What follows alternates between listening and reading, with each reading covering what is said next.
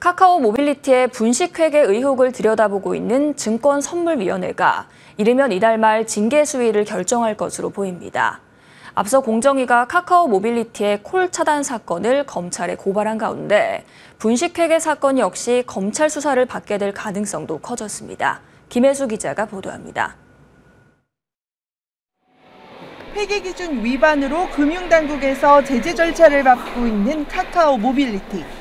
앞서 금융감독원은 카카오 모빌리티가 기업 공개를 앞두고 몸값을 높이기 위해 2020년부터 2022년까지 가맹택시 사업에서 6천억 원대의 매출을 의도적으로 부풀렸다고 판단했습니다. 금융위원회로 넘어간 이 사건은 금융위 감리위원회에서 회계기준 위반 동기에 대해 고의와 과실로 위원들 간의 의견이 팽팽히 갈려 결론을 내리지 못했습니다. 이후 증권선물위원회로 넘어온 이 안건은 현재 최종 징계 수위 결정만 남겨두고 있습니다. 해당 회계 기준 위반 동기가 고의로 결론이 나면 곧바로 검찰 고발이 이뤄지게 됩니다.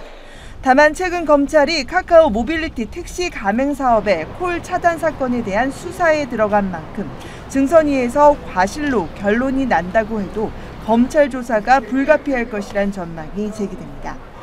공정위는 카카오티 앱에서 경쟁 가맹택시 사업자 소속 기사에게 일반 호출을 차단했다는 혐의로 700억 원대의 과징금 부과와 함께 카카오 모빌리티를 검찰에 고발한 상황.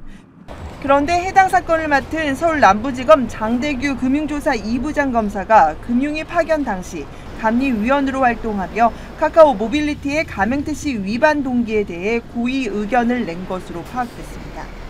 업계 한 관계자는 증선위 징계 수위와 상관없이 카카오 회계 위반 사건은 콜 차단과 함께 이미 검찰 수사 단계로 넘어간 것과 다름없다고 봐야 한다고 전했습니다.